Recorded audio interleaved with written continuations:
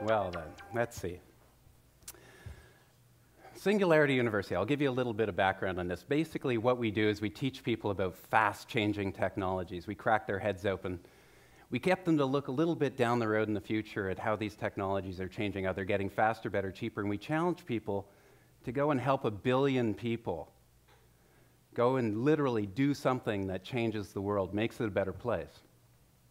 I sit at the intersection of two of the fastest growing technologies, and one of them is computers. Computers are changing the world. We all know this. The other technology that's changing is life science, genetics, genomics, biotechnologies. For the last 50 years, we've actually been competing. The transistor and DNA were actually discovered very close together. Bioinformatics or genomic technologies and the computer chip, very close together in the early 1970s. And computers have an early head start in taking over the world. I'd like to suggest that even evolution evolves, and we're in one of the most fascinating periods in technology right at this point in time.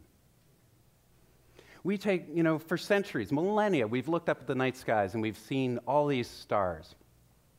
And we've, they've inspired us to tell great stories, and we've wondered what's going on out there. And we know today that there's 100 billion stars just in our own Milky Way galaxy. It's just this massive volume. And for about 400 years, we've been building telescopes to go and study these stars. And yet, we still haven't found life anywhere else. If you want to think about a wonderful world, it's that this thin little band of atmosphere you see here, which runs up a few miles and then a few miles down to the earth, is our complete biosphere. This is where all life exists that we know of in the universe. And I'm not talking just intelligent life, I'm talking any life. And we've been going around, we are the most successful. We've got 7 billion of us.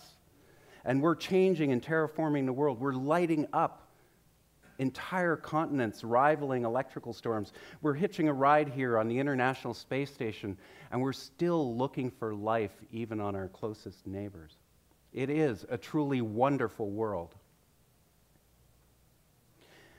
And yet, in looking for life, we've kind of been looking in the wrong places.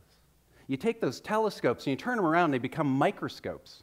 And 400 years ago, we realized holy moly, there's all of these living organisms all around us, in us, on us, everywhere. We didn't see these like the stars in the sky before. They were invisible to the naked eye. But this is where life teems in the universe, and we're just starting to understand it. With our technologies now, you can look into the face of a spider see its quizzical expression. you can look at the textures on the tongue of a butterfly. You can look at the sumptuous lips of a housefly. this is the world of the micro. This is the world of the cell. This is the world of the molecular and we're opening it up and cracking it open wider and wider as our, as our microscopes get better and better and our tools and technologies for looking into this world. This is my favorite creature of all time. This is the E. coli bacterium. E. coli was one of the first organisms on this planet about 4 billion years ago, and it'll probably be one of the last. And it made a pretty good deal with us. It said, hey, look, keep us in your guts and feed us, and we'll in turn feed your systems. And meanwhile, you just carry us around. These little guys have been all over the world just with me in the last year. And with my friend Dan Barry, the astronaut, they've been up to space, and they're still there. Dan had to come home. I teach that these little guys, they kind of look like sausages, are computers. Not the types of computers that we might expect, but these cells are like our cell phones. They can live independently or they can work better in a network. They detect signals of all different types. They do input and output calculations. What's absolutely remarkable about these little critters, though, is that they've transcended our phones. They are actually able to reproduce. One becomes two, two becomes four, four becomes eight. This is the true exponential technology on the planet. They're absolutely incredible. One day our cell phones might get close to this when you can plug them in and you get two in the morning. or if they shrink small enough that they're like mitochondria powering our cells. If you take one of these bacteria and you squish it, like you were squishing a tube of toothpaste, its genome comes out of it. This is the operating system of a bacterium 4.6 megabits. Tiny, really tiny, but that's all you need for one of the most complicated and successful free living organisms on the planet. And when I saw this picture, I was astounded. I was a computer geek. I loved computers. I saw this picture and I saw this. And after that, that was it. I was going to be a genetic scientist. Thankfully, you can't read DNA code very easily. It's ATGCG. So you have to write computer software, and I was one of the first people doing that, kind of organizing all this information. And I became fascinated with the genetic language. And I realized it is a language, it's a, it's a programming language. Every living thing on this planet uses the same operating system, uses the same programming language, from bacteria all the way to us and everything in between. So I became fascinated with this.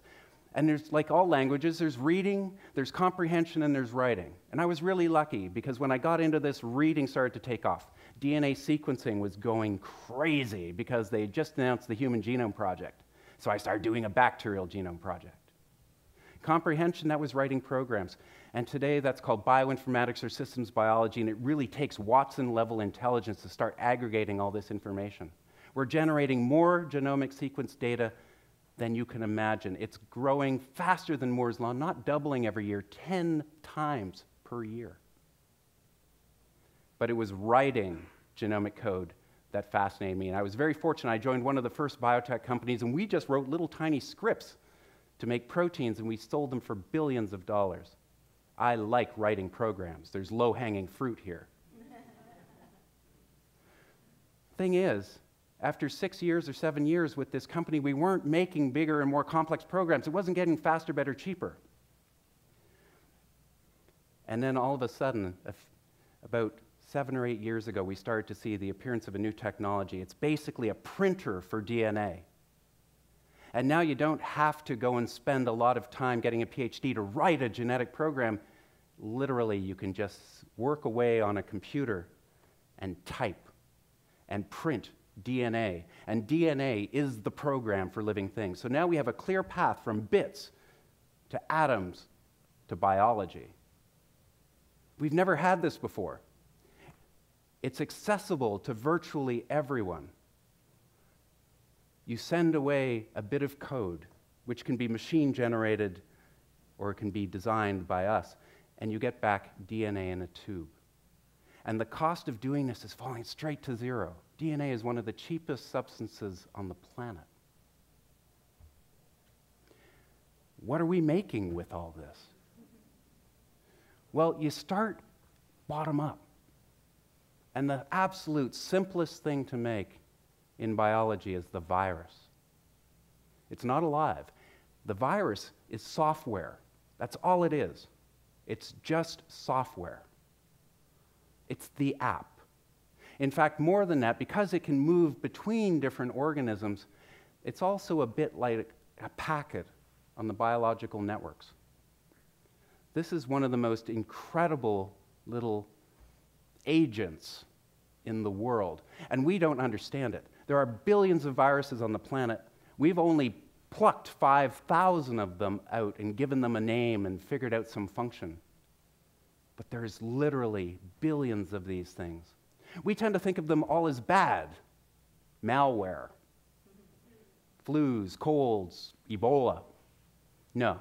We haven't even started wrapping our brain around what are the positive reasons for these things to, to exist. There's proteins in our body that come from viral origins, and if we didn't have them, we couldn't be born. That's something to think about.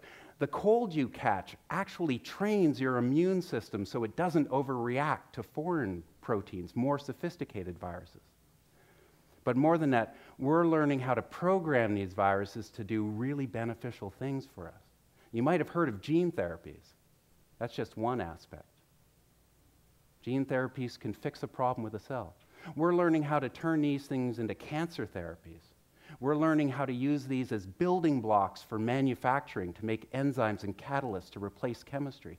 And the list will go on. One day there will be viruses that will make your hair grow, that will change the ability of your eyes to see in different spectrum, that will literally rewrite broken cellular genomes. We're going to have a whole biological software industry, which is pretty cool and scary at the same time. Because we know that sometimes you can make these things that are pretty nefarious. And again, they're tiny, and everyone can start to do it. So are, we need people like Mark, because bio is the new cyber. But thankfully, we're learning a lot of the rules of the game from the computer world. More than that, we've already moved on to free living organisms. Last year, researchers made the first synthetic bacterium. Again, moving up the complexity in the programs. That was pretty cool. We're going to get thousands more of these, thousands. And we're going to keep marching up in our programming complexity at a pace that will astound you. We're not ready for this, but it's time we start thinking about it.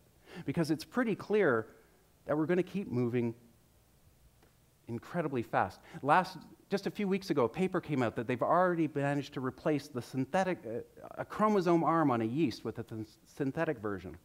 And now that's significant to me because yeast are about a billion years more evolved than bacteria, and they're also the foundation of bread and beer. You guys don't play with bacteria at home, but I'm sure you made a loaf of bread and you probably had a glass of wine here. Incredibly important stuff. This is the global distribution system. People are putting the weirdest things in yeast, too. There was a paper this summer where they were actually putting the precursors of LSD into yeast. Now, that's going to be a beer that's going to be a big seller. this technology is changing so fast, so fast. I can already see a time when we can make a synthetic human genome. It's not that much more complex than a yeast. This is a human genome project for the 21st century. Not reading it, that's 20 years ago. Writing it. That means we need to start thinking about what we want to be this century. We've actually moved past Darwinism, the idea of natural selection, the idea of survival of the fittest. We're entering a whole new phase in our evolution this century. And whether it's the rapid evolution of computing that will continue to challenge us in our thinking abilities, or enhance our thinking abilities. And this is starting to move into the actual biological realm where, it's, where we actually are going to be responsible for every living thing on the planet and choose what we want to create. Not survival of the fittest, but the construction of the intended. And we're going to have to learn a few tricks from biology and from the computer world to keep us safe in this process. But the next programming paradigm is life science. The people that were programming computers 30 years ago, the kids, they're all moving into biology now.